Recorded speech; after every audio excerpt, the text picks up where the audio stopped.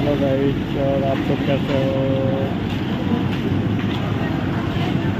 मैं खड़ा था रेवाड़ी सड़क पर, और अच्छे देख सकते हो मार्केट नहीं गया हूँ